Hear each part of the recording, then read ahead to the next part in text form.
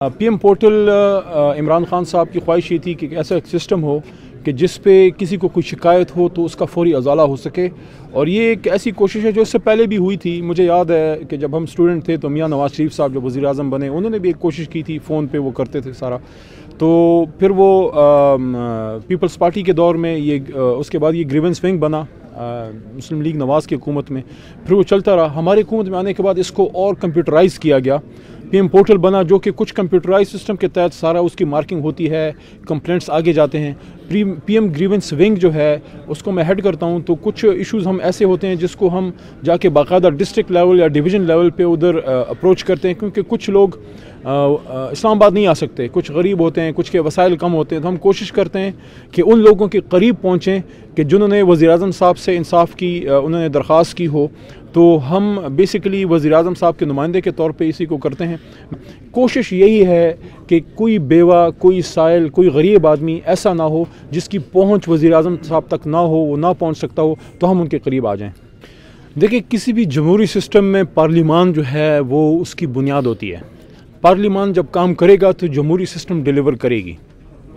یہ اسی طرح ہے کہ کوئی اگر کوئی ادارہ ہے، اس کا کوئی اگر ہیڈ کوارٹر کام نہیں کر رہا، تو وہ ادارہ کام نہیں کر سکتا۔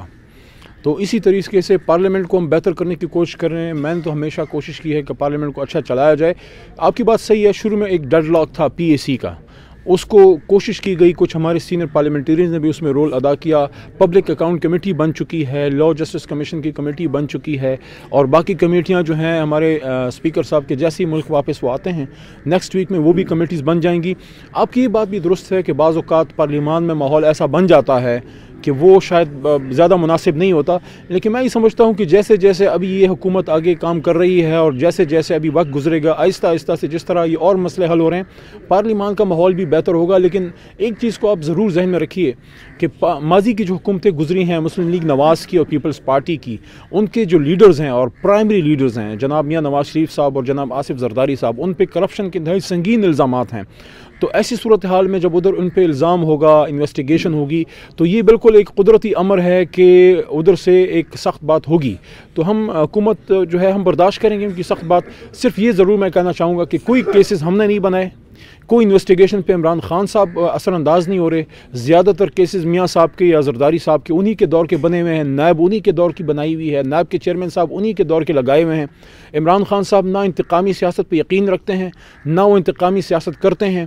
بلکہ میں سمجھتا ہوں کہ وہ ایک ایسے سیاستدان ہیں، پاکستان کی سیاسی جو بھی نظام ہے اس میں، کہ کم از کم کوئی ان سے اتفاق کرے یا ان سے اتفاق نہ کرے۔ لیکن آدمی کھرا آدمی ہے سچا آدمی ہے، ایماندار آدمی ہے اور وہ میرٹ پہ یقین رکھنے والا آدمی ہے۔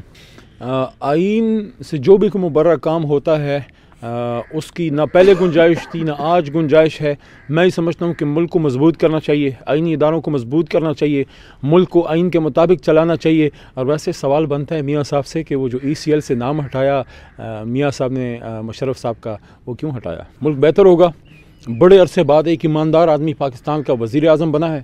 اور ایک سوچ ہے، ایک امید ہے، ایک نوجوانوں میں ایک ہوپ پیدا کی ہے، عمران خان صاحب نے۔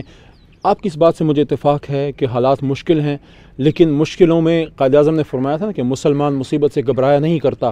ہمیں یہ مصیبتیں ورثے میں ملیں لیکن ہم اس بوجھ کو کسی اور کے کندھے پہ ڈالنے کی بجائے اس کو حل کرنے کے چکر میں۔ انشاءاللہ یہ معاشی بحران جو کوئی مسلم لیگ نواز کی مس گورننس اور اس سے پہلے پیپلز پارٹی کی مس گورننس سے پیدا ہوا اس کو انشاءاللہ یہ حکومت ٹھیک کرے گی۔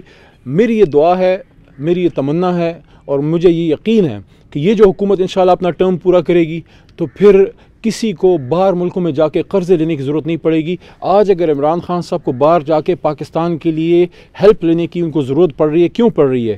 وہ اس لیے پڑ رہی ہے کہ ماضی میں اگر حکومت صحیح چلائی جاتی، معاشی پالیسیاں ٹھیک ہوتیں، پاکستان سے پیسہ بار منی لانڈر نہ ہوتا، پاکستان کے خزانے کو نہ لوٹا جاتا، آج عمران خان صاحب بڑے چین کی ماسری بجا رہے ہوتے۔ میں یہ سمجھتا ہوں کہ عمران خان اس ملک کو اللہ تعالیٰ کا ایک تحفہ ہے کہ ایک ایسے آدمی کو بھیجا جس کا سیاست سے کوئی تعلق نہیں تھا۔ وہ ایک سوشل ورکر تھا، وہ ایک ہیرو تھا اس قوم کا۔ وہ آیا ہے اور سب سے بڑا کام جو عمران خان نے کیا ہے، میں یہ سمجھتا ہوں کہ نوجوان، پڑھے لکھے نوجوان کو میسج دیا ہے کہ سیاست گندے آدمی کا، کرپٹ آدمی کا کام نہیں ہے، یہ تمہارا ملک ہے، تم نے اس کو ٹھیک کرنا ہے۔ بہت شکریہ۔